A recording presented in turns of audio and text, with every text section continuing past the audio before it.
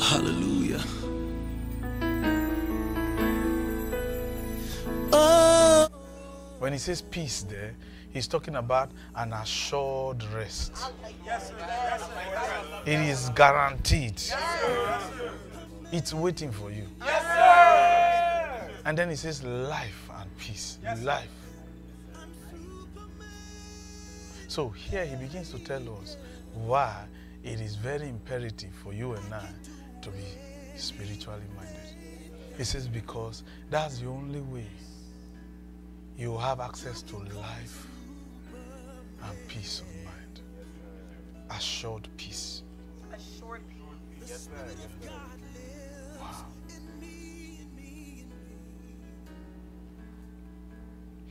Here he's saying, there is a peace God cannot give you.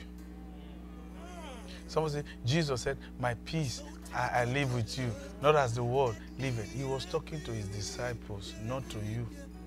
That was 2,000 years ago. He was not talking to you.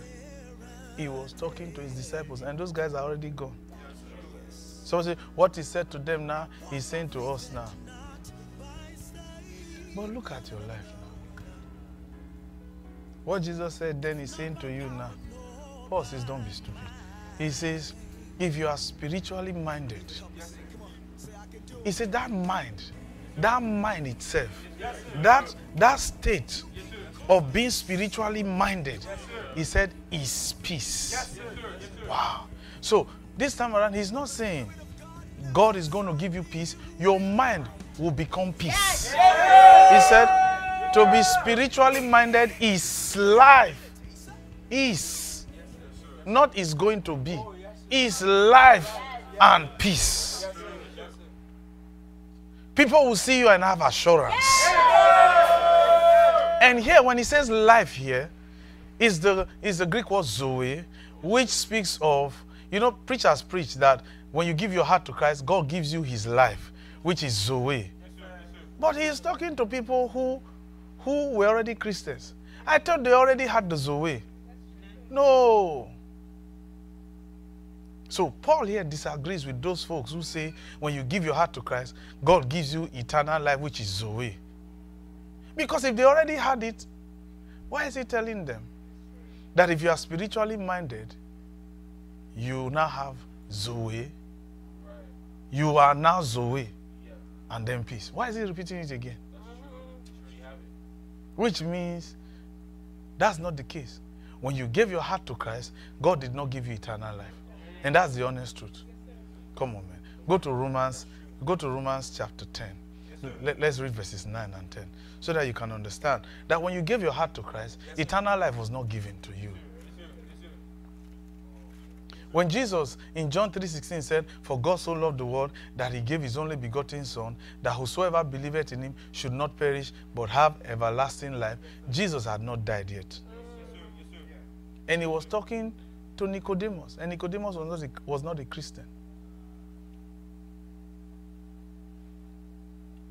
And Jesus was not referring to something futuristic. Because verse 17 says, God did not send his son into the world to condemn the world, but that the son through him might be saved. John chapter 8, when you read from verses 28 to verses 32, the Bible says many believed on Jesus. And they were saved. See something.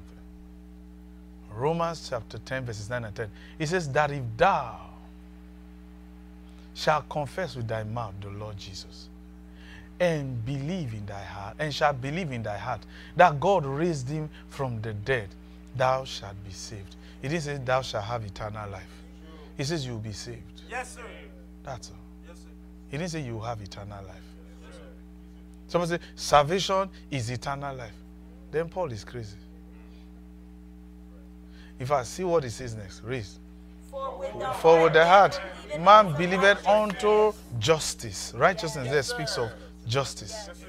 And then next, with the mouth confession is made unto salvation. There's nothing about eternal life mentioned. In fact, let's even find out what eternal life really is. Yes, sir. Yes, sir. So that you will know that when you gave your heart to Christ, you did not receive eternal life when you gave your heart to Christ. you were only saved. Saved from what? Saved from the domain of darkness, from the corridors of darkness. It still doesn't mean that the enemy will still not have access to you if you let it. So, what is eternal life then? Let's see, because there's only one person who can tell us what eternal life is, and that person is Jesus. Now, if you disagree with what Jesus said, then you can't be helped. Go to John 17. John chapter 17. Because he's telling us if you recondition your mind, you will even become Zoe. He says here, let's see what Jesus said about eternal life. And if Jesus is wrong, then we're all done for. And if your pastor disagrees with Jesus, it's a big problem. Because just because something has been said for many years in the churches does not make it necessarily true. So let's find out whether eternal life is something you receive when you give your heart to Christ. These are the words of Jesus. Verses 1. These words spake Jesus. This was three days before he was arrested. These words spake Jesus and lifted up his eyes to heaven and said, Father, the hour is come. Glorify thy Son, that thy Son also may glorify thee, as thou hast given him power over all flesh, that he should give what? Eternal life. He should give eternal life to who? To as many as what? Until God gives you, gives you to him, you can't have eternal life. That's what he's trying to say. But now, see verses 3. And this is life eternal. What is life eternal? That they might know thee as the only true God. So, knowing the Almighty God is what is called eternal life. When you gave your heart to Christ, did you know God? Please answer. now. Did you really know God? Or it was after you came to Christ that you started knowing about God? Yes. But the preachers out there, they tell us that when you give your heart to Christ, you will receive eternal life. Jesus said that's not true. Because eternal life is in knowledge. Yes. It's an acquisition of knowledge. Knowing God as the only true God, because there are a lot of gods Yes, calling for your attention. But to come to the point in the midst of so many gods, to know the Father as the only true God, Jesus said, when you get to that state, you now have eternal life. Blessed be God. So Jesus already told us what eternal life is. It is not something you receive when you give your heart to Christ. It's a journey. Journey to acquiring knowledge of who the Father really is. Yes. Go to go to First Peter. First Peter chapter 1, verses 3. Let, let's read First Peter chapter 1, verses 3. Because Jesus said this is what eternal life is.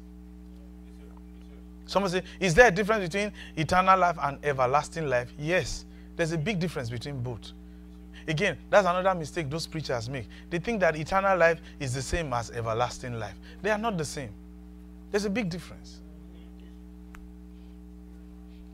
When Jesus said in John 3, verses 16, For God so loved the world that he gave his only begotten Son, that whosoever believeth in him should not perish but have everlasting life, not eternal life. Some translations wrongly translate that as eternal life. No, but what Jesus actually said was everlasting life. What did he mean by everlasting life? Because they were all under the curse of the law. The Jews were under the curse of the law because they broke the law. And the Bible says the wages of sin is death. And the Bible says they were all their lifetime subject to bondage because of the fear of death. So, because they were all under the curse of the Lord, they had a shortened lifespan. So, the men didn't live long. And there were so many widows. If you study the Bible in the days of Jesus, there were a lot of widows. The men died early, leaving many women and children. Now, Jesus now came and said, If you believe in me, you will not perish, but rather you have what? An everlasting life. It's a compound word, everlasting. That means your life will last Yes. to the full. Yes. That means the number of their days they will surely fulfill, if only they will believe in him- Him. So, if God had planned for one to live 150 years, Jesus is saying, if you believe you, if you believe in me, you will surely hit that 150. Yes, sir. You will not die at 67. You will live longer. So that's what Jesus was referring to. Because the throes of death was upon them because they were under the curse of the law. And Jesus came and said, If you believe in me, you will last long. Kai. Remember, Moses actually, who brought the law, told the Lord, Teach us to number our days.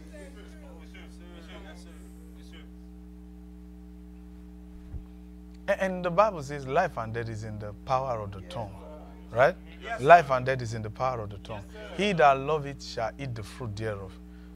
Now, with what do you confess? Is it not with your mouth? Yes. Sir. Now, can your mouth function without a tongue? No.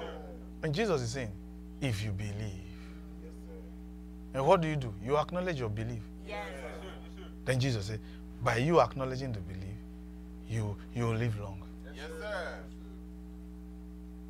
That's different from eternal life. Eternal life is a knowledge, it's an acquisition of knowledge, knowing who God is. That's completely different from everlasting life. Do you see the difference now? But they they model everything up. But now, when Paul says here to okay, let's see what Apostle Peter said. Go to Second Peter chapter 2. You see something that Apostle Peter made it even clearer about what Jesus was even saying. That eternal life is an acquisition of knowledge, Yes, of knowing who God really is as the only true God. Because Jesus knew it's a big issue. Many people are still yet to come to terms in acknowledging God as the only true God. And Jesus said, once you hit that point in your life, through the acquisition of the right knowledge, you will know that you have entered the corridors of eternal life. Blessed be God. See what Apostle Peter said. He said, 2 Peter chapter 1, verse 2. Okay, go to verse 2. Verse 2. Notice what Apostle Peter said. He says what? Grace and peace be multiplied. Grace and peace. Peace. An assured rest of mind. Grace and peace be multiplied unto you. Through what? The knowledge of God. What do you call that? Eternal life. Through the knowledge of God. And then the knowledge of Jesus. But what people do is that they try to promote the knowledge of Jesus above the knowledge of God.